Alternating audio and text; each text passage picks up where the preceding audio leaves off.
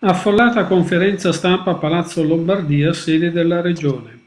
L'ha convocata l'assessore Giulio Gallera sul delicato tema delle vaccinazioni.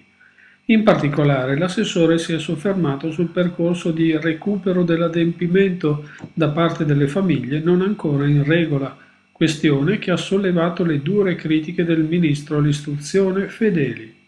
La Lombardia è fuori legge, ha osservato il ministro, Ecco la risposta di Gallera. Regione Lombardia non è fuori dalla legge, Regione Lombardia applica la legge, in Regione Lombardia nessun bambino potrà frequentare gli asili nido e le scuole materne se non è vaccinato.